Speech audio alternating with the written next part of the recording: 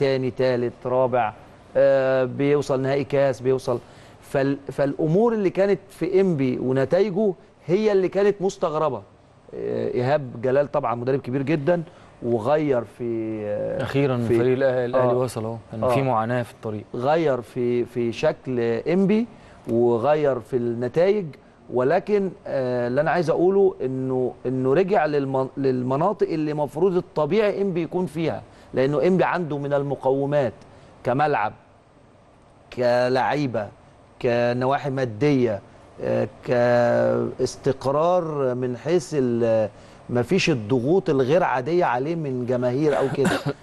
فأنا أقصد إنه إنه الطبيعي إن انبي يكون في المكانة دي.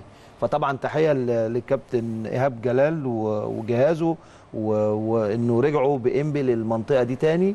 المنطقة اللي هي في في الخمسة ستة الأولانيين في الجدول. وهو طبعا كمان المفروض يبقى أكتر من كده ولكن الظروف اللي كان محطوط فيها من بداية الموسم هي اللي كانت ملخبطاه.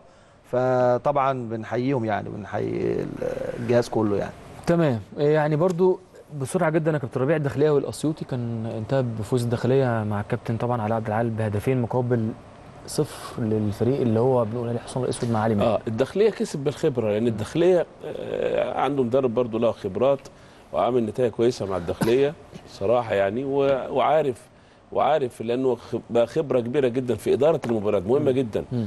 فهو عامل حالة حالة كويسة مع الداخلية يعني عن الداخلية من غير علاء كانت مهددة. مم. فهو حتى علاء لما خرج يعني مع الفرق ما, ما أبدعش في شغله في شغله الفني في الملعب زي ما أبدع مع الداخلية. بيعرف واخد بالك؟ ينظم أموره إزاي ويحط الداخلية في مكانة يطمئن بيها. إدارة الداخلية والجهاز الفني.